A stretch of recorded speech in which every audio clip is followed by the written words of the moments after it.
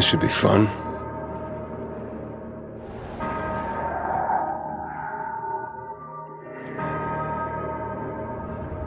Here we go.